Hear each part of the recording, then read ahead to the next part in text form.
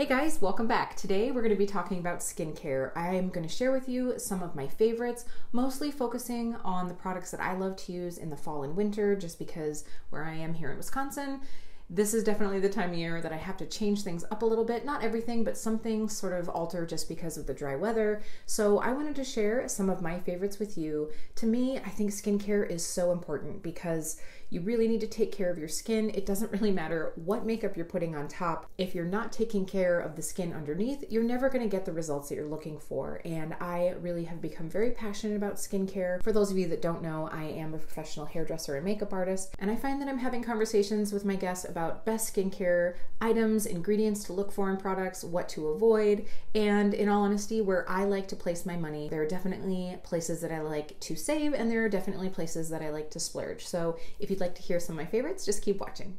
Now, before we get started talking about products, I just want to give you a little heads up on my skin type.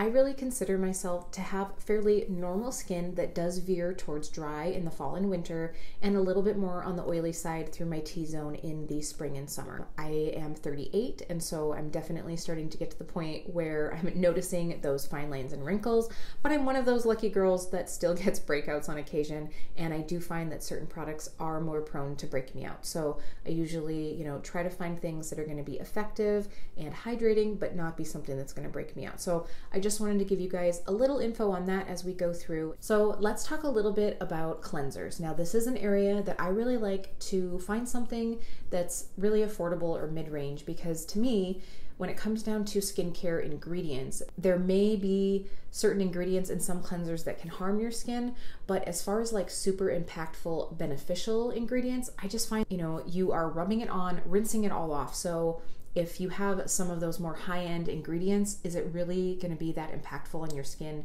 in the 60 seconds or so that you're cleansing? So, I really like to find something that is a more basic, gentle cleanser that's going to really still do a great job of cleansing. And then I like to put my money into serums, moisturizers, skincare items that are really going to be staying on the skin for a longer period of time. So, I'm going to share with you two of my favorite cleansers. So, the first product that I'm going to talk to you guys about is something that I probably found seven or eight years ago at least, and it's from the brand Paula's Choice. And this is the earth sourced, perfectly natural cleansing gel. Now, if you aren't familiar with Paula's Choice, I highly recommend you check out their website just because, in general, they have some really great ingredient focused items. I found this natural cleansing gel to be really ideal because it is very gentle. On here, it says that ingredients are 99% natural.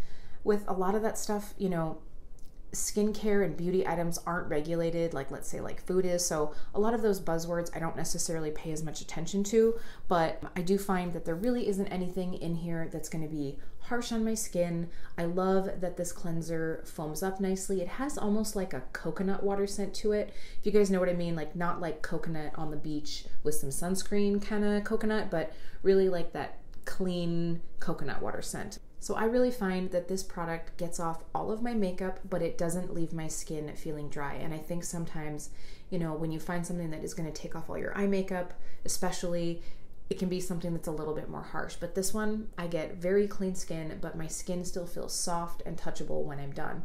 Now, this product I really always try to get on sale because it does retail for $18 full price, but usually I can find sales where Paula's Choice is doing 20, even up to 25% off. So I usually go and I buy like three or four of these. The other thing is this little bottle lasts a very long time. Like once it starts to get down to the point where, you know, it's really far down, I invert it and um, like set it up against the counter. And i keep like milking that product out for like weeks. So it just takes a little bit and you really get a beautiful cleanse with it. So this is going to be my top choice for a cleanser. So the other cleanser i want to talk to you guys about i don't actually have right now. I ran out of it but i did just order two in the black friday sale. I believe it was ulta that had it half price and that is the kiehl's ultra facial cleanser the way that I had found this cleanser was through a campaign through Influenster. I was originally sent a few Kiehl's products to test out, and I had never really tried any of their products before, but two of the products that were in the little box that I was given are things that I fell in love with and have purchased and repurchased. The other one is going to be in this video as well. But the Ultra Facial Cleanser, again, is just a really nice basic cleanser. Now, Full price on this is $20, which is on the higher side, but again, this uh, is a product that I would only splurge on when I can get a really good deal on it. So when Ulta was having it for half off for $10, in all honesty, it's hard to find cleansers at the drugstore for around $10 anymore, I feel like. So that's definitely another one that I really enjoy. Again, it's going to lather up nicely, it's going to help really clean the skin, but it isn't going to be harsh. Now, I have tried some of the like Cetaphil cleansers, some of those, you know, like drugstore, more like clean and simple products. Those can be really great. If you guys haven't checked any of those out, they really do a nice job of cleansing, but I find that a lot of the ones at the drugstore don't clean makeup off quite as well. One way to get around that would be to use a cleansing balm, which I have my favorite that I'm gonna be talking about in a moment, or to do a double cleanse. But if you're doing a double cleanse, then you're using twice as much cleanser. So, are you really saving anything in the long run? It's kind of like one of those things where you have to figure out how quickly you go through a product. And that's one thing that I always really try to pay attention to is the like potency and amount of product that you have to use because sometimes that's really where the price tag might seem a little higher, but you're really saving some money. So, I really like the Paula's Choice and the Kiehl's cleansers. Those are definitely my top two favorites.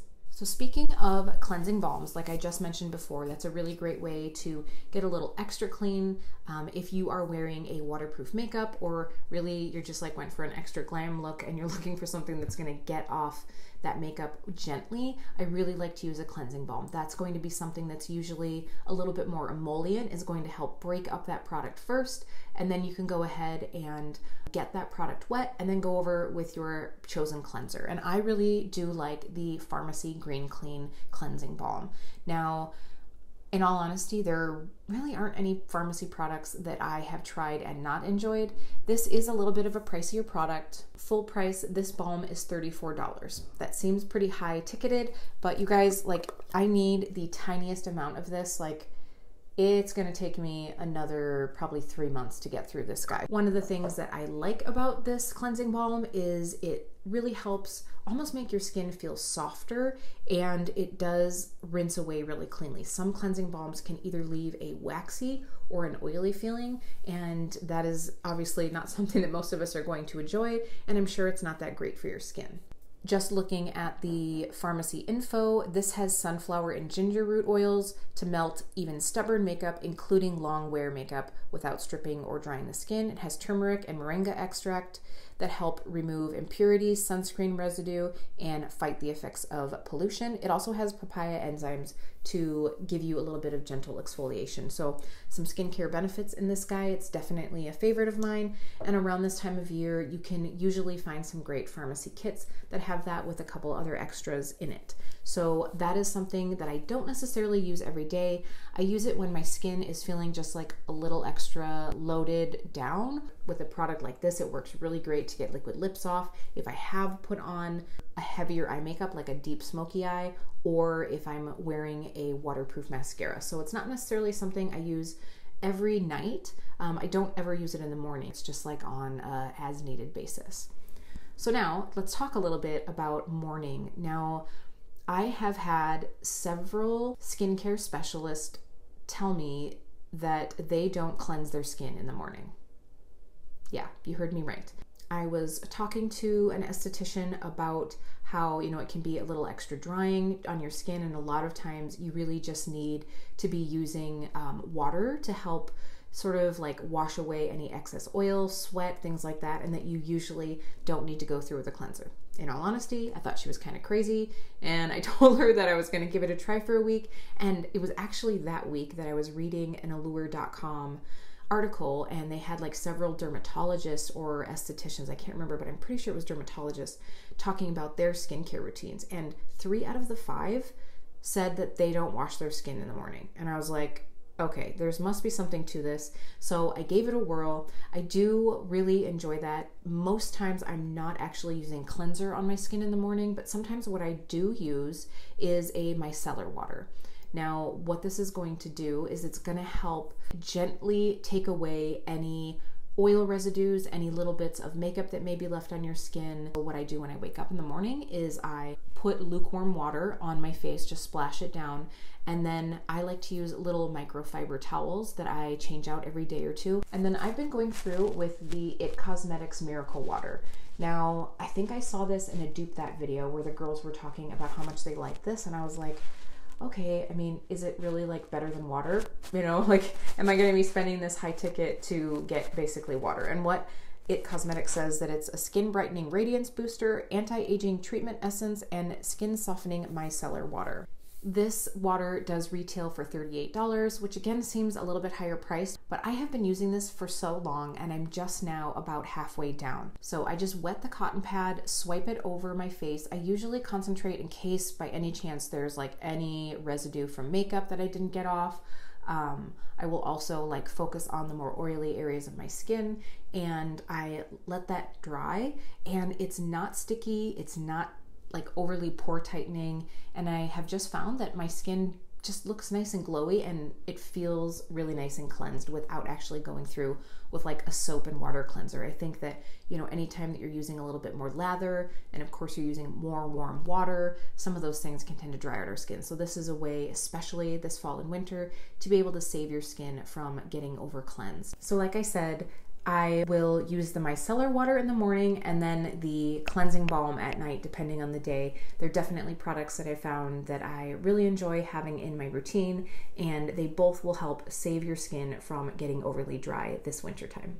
So while we are at the sink, so to speak, I want to talk to you guys a little bit about the Dermalogica Daily Microfoliant. I've been using this product for a long time, and one of the things that I love about it is while it is a physical exfoliant, it is super, super gentle. It's just a very finely milled powder that you mix into your uh, like damp palms or fingers, and you will just put that over your skin and rub it in um, for about 60 seconds and then rinse it off. So this has ingredients like salicylic acid and rice bran to really help exfoliate the skin. Obviously, salicylic acid is more of a chemical exfoliant, so you're gonna get a little bit of both, but it's very, very gentle. So, A, if you are new to exfoliating your skin, that would be one that I would really recommend. It's really quick and easy to do, and exfoliating is something that is super key to be doing to get the best skin you'll ever have. And also, one of the top things that I think people skip out on is exfoliating the skin. A lot of people keep trying to like pile on serums and moisturizers to take care of their skin, but if you have that dull, uneven texture on your skin, nothing that you do is going to A, probably penetrate that, and B, remove that other than an exfoliant. A chemical exfoliant is going to for lack of a better term, almost like dissolve that excess dead skin, and a physical is going to really like physically and manually polish that off. Um, most of the time, just as a generalization, physical exfoliants can be a little bit more irritating depending on the strength of the exfoliant, but this is super gentle and it's one that I love if you're looking for a very gentle option as far as a chemical exfoliant, what I always steer people to trying for like beginners, let's say, is the Paula's Choice BHA lotion. Now, um, when I say lotion, it's actually more like a toning type product, so a liquid. I don't have that one in stock right now, but I will pop a picture of it here. Again, if you're going to check out the Paula's Choice website for the cleanser, you might as well check out the exfoliant as well. Again, because it's Paula's Choice, you're going to get great bang for your buck. It's just under $30. I think it's $29.50, but you're going to get two full ounces. That is going to last you a very long time because, again, it's one of those products that you just wet on a cotton round and simply swipe over your skin. So that's going to be a very gentle way to go ahead and start the exfoliation process. While we're on the subject of liquid toners, I want to talk a little bit about the Tarte Knockout Treatment. This is another liquid product that you would put on your cleansed skin with a cotton round or something similar. This one has salicylic acid and lactic acid in it, so you're going to get that double dose, which is really great for exfoliating, but also for helping treat breakouts. So this one I recommend if A, you're a little bit on the more oily side, or you are currently experiencing some breakouts. So if I have um, some breakouts on my chin, or oftentimes I'll get them like right in this area, I will use this in place of another toner and I will just sweep that over my skin, let it dry for about five minutes before I go in with any of my other skincare at night. So this is one that I really like. It's relatively inexpensive at $18 and I find that it really does help. A day or two of this, and I find that my breakouts are significantly less inflamed and they just tend to go away a little quicker. I will say that this does not smell good. It smells a lot like vinegar. So it isn't going to be one of those products that you're like, ooh, nice. But the vinegar smell does go away after a couple minutes, so you don't have to worry about that. And most of the time, we're putting something over the top of it anyway that would mask that. I appreciate though that Tarte did not load in a bunch of different fragrances to try to cover that up because a lot of times fragrances will just make you break out more. So you'd sort of be defeating the purpose. Sorry about this like traveling light thing we have going on. In the afternoon in this room, the light finally starts coming in, and so we're gonna kind of like see this go throughout the room. So I apologize for that, but I'm just gonna keep going and sharing with you my favorites.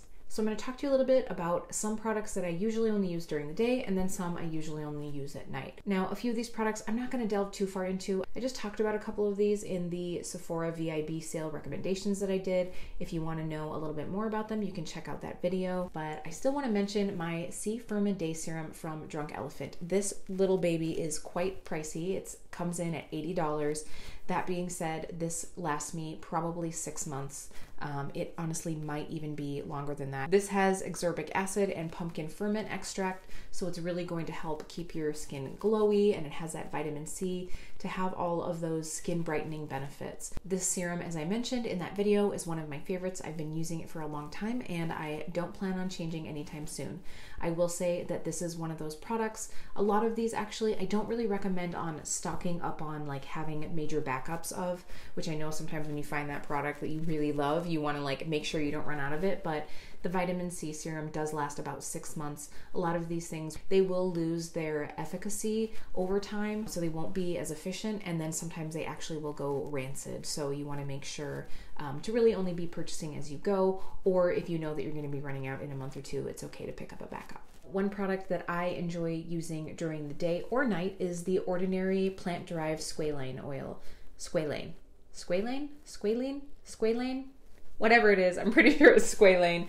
But um, this is really a beautiful emollient hydrator.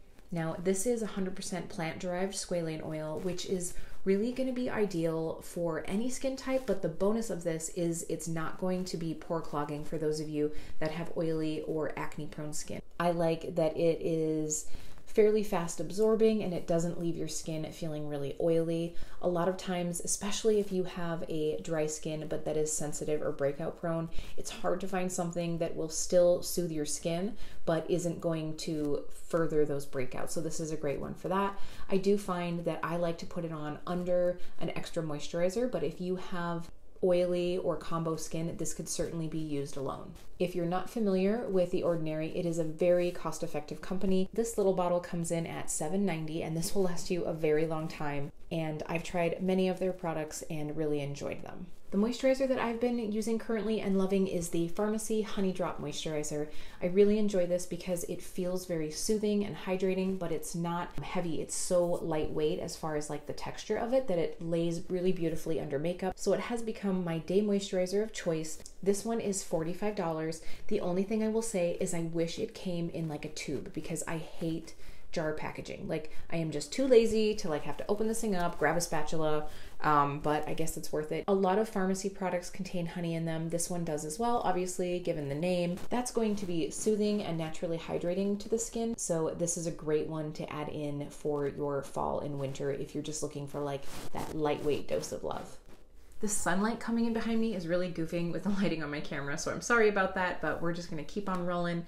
So another moisturizer that I really enjoy I will use it sometimes during the day when my skin is needing extra hydration, but I do oftentimes use it at night, is the Kiehl's Ultra Facial Cream. Now, like I said, I did receive some Kiehl's products through Influenster probably a couple years ago. This one I repurchased after trying the little sample size.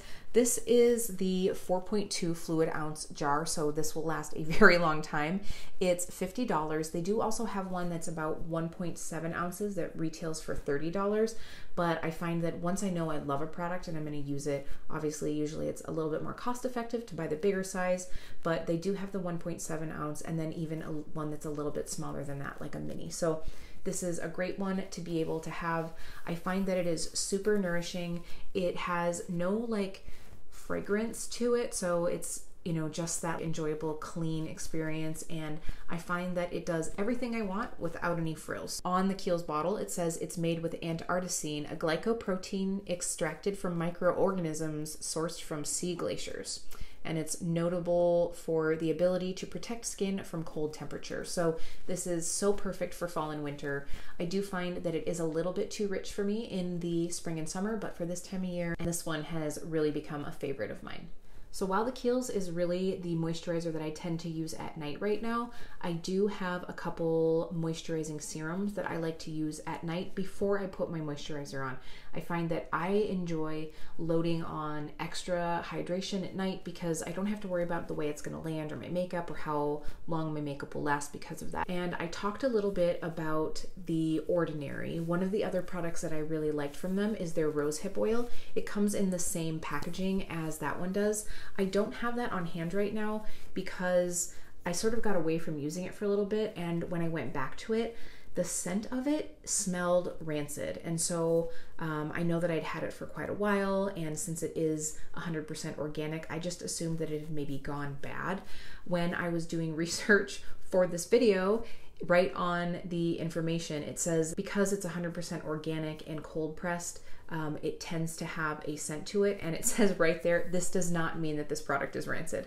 And I was like, I wish I had read this. I mean, it's actually really inexpensive. It is 9.80 for the same size as the squalane that I showed you guys, but in the meantime, because of that, I had picked up this little guy from the Good Molecules brand, and I believe this is a Beautylish brand. Like I think this is actually Beautylish's brand of skincare. I could be wrong, but it is only sold on Beautylish. So this brand, similar to the Ordinary, is a lot of like standalone ingredient products and it's also very inexpensive. This little guy is $10. It is about half the size of the one that you'll get from the Ordinary, so the Ordinary is actually even more cost effective. I really enjoy rosehip oil because it's rich in fatty acids.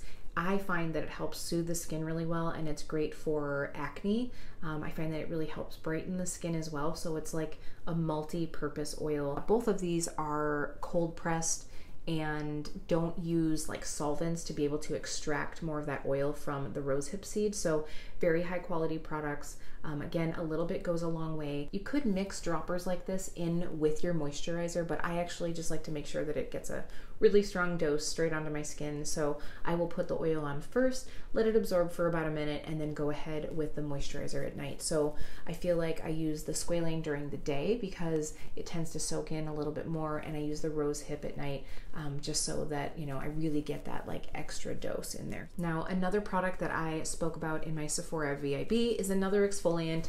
If you guys can't tell, I'm really all about exfoliating, but I do get a lot of questions about my skin. And a lot of times people are saying, oh my gosh, like what foundation are you wearing? Or what concealer are you wearing? Like your skin looks great. But really, it is all about what you do to your skin, not what you put on your skin.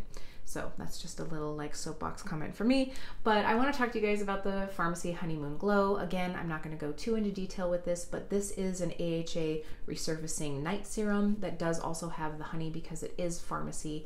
And I love this one. I find that it is very gentle for a chemical exfoliant. I choose to use this at night before I put on any of my serums, and I find that it really has helped reduce texture. I feel like my pores are more refined. I feel like fine lines have kind of been blurred over time. This product has replaced my Good Genes, um, which is a Sunday Riley product. This I find that I actually enjoy more, and it's much less expensive. The Honeymoon Glow is $58. I find that this does, again, last me about six months, so that definitely has some potency there.